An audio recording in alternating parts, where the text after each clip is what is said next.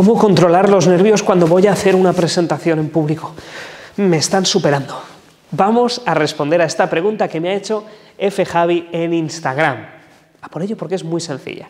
Una de las herramientas que más me gusta a mí es tener organizado lo que voy a exponer. Mira, aprovecho esto que tenía de un vídeo anterior.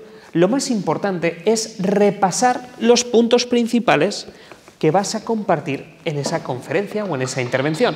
En este caso eran tres ideas principales que iba a compartir en un vídeo.